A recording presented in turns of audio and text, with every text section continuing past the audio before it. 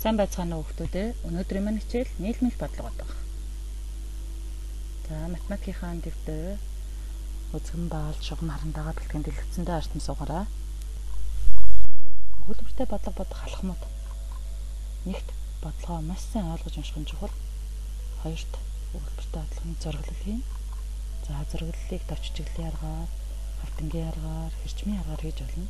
Гуравт бодлого бодох аргаа сонгоно. Дөрөвт бодлогоо бодно. Тав бодсноош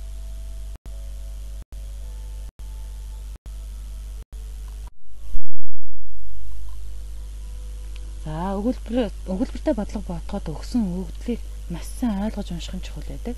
За өгүүлбэрт их, илүү, олон, ихсгэх, нэмэгдүүлэх, нийлбэрийг олох, нийт бүгд гэж байвал нэмдэг. За харин цөөн баг багасгах, хорогдуулах, зөрөөгөлөх, дутуугөлөх, ялгуурыг олох гэж байвал хасдаг байна.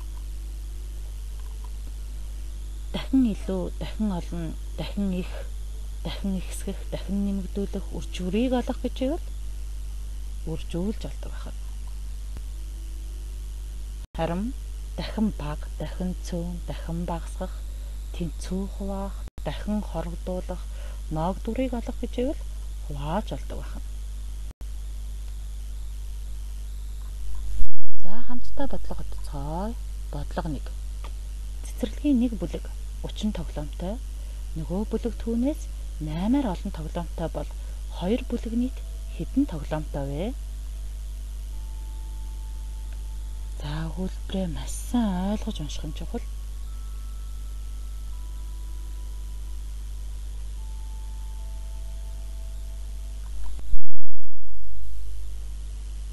За бодолт. За эхний бодлтыг багш нь товч хичгэлэл хийж батсан байна. Нэгдүгээр бүлэг 30 тоглоомтой, хоёрдугаар бүлэг түүнээс 8-аар олон гэсэн учраас нэгдүгээр бүлгийн 30 дээрээ 8-аар нэмсэн. За тэгжээж хоёрдугаар бүлгийн тоглоомын тоо гарна. За хоёрдугаар бүлгийн тоглоомын тоо хэд гарав? 38 гарлаа. Нэгдүгээр бүлэг 30 тоглоомтой, хоёрдугаар бүлэг 38 тоглоомтой нийт 2 бүлгийн тоглоомын тав гарч байна 68 тоглоомтой гэж гарч байна тийм үү? За хоёрт хавтгынгийн загвараар батсан байна. Нэгдүгээр бүлгээ 30 хоёрдугаар бүлгээ 30 бас 8-аар олон гэсэн учраас арай илүү зурсан байна. За бодолт ижил. Өглөртөө бодлогыг хэдэн аргаар батсан ч эцсийн хариу ижил байна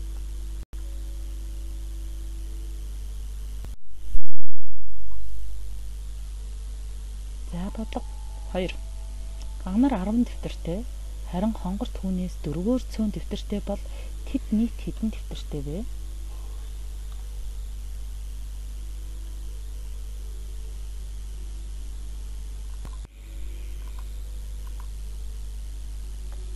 За эрчмийн аргаар Анарын 10 дэвтрийг 10 ширхэг эрчмээр төлөөлөл зураад хонгор дөрвөөр цөөн гэсэн учраас дөрвөн ширхэг эрчим дутуу зурсан байна. За үлдлээ хийгээд маргаас төрийг асаад хонгорын дэвтрийн тоо хэд гарав? 6 гарлаа. Анар 10 дэвтэртэй, хонгор 6 дэвтэртэй, тэд нийлээд 16 дэвтэртэй. За хоёр дахь харган товч чиглэл хийсэн байна. Анар 10, хонгор 4-өр цон гэсэн учраас 4-ийг хасан тийм үү? За эцсийн хариу мөн ижил байгаа.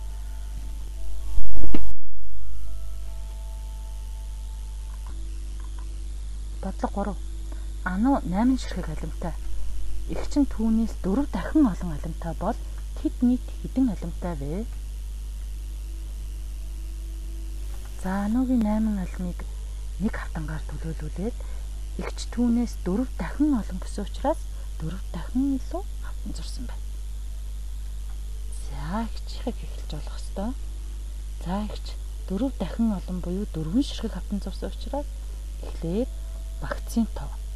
Дөрвийг үржих нь нэг багц дотор хэдэн ширхэг алим байгаа лээ? 8 ширхэг алим. Нийт их чинь алимны тоо 32 алим гарна.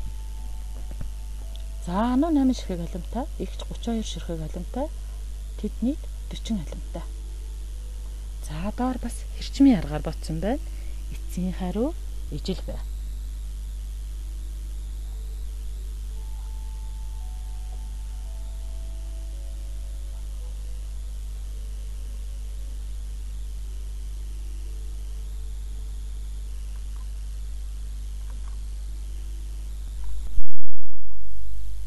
За бодлого 4. Дэлгүүрт 48 кг усан үзэм түүнээс 8 дахин бага гадал мөн тийм хэмжээний лир бай.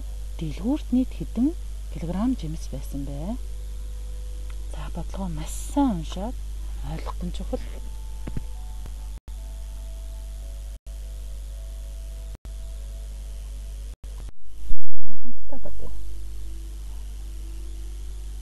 Гадал нэг хэрчмээр зураад 8 дахин бага 8 дахин бага гэсэн учраас усан үзмээ 8 хэрчмээр гадлаа 8 дахин бага гэсэн учраас нэг хэрчмээр төлөөд зурсан байна. За усан үзмний килограмм 48 кг.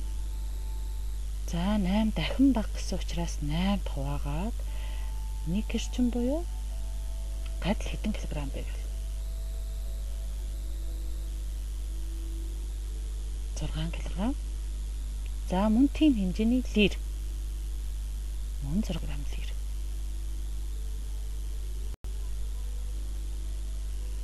За нийт жимсний дагарсан байна.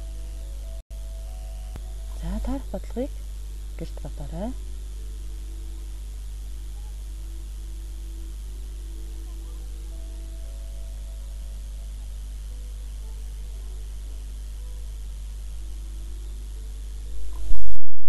Анхааралтай оролцсон хүмүүстээ баярлалаа.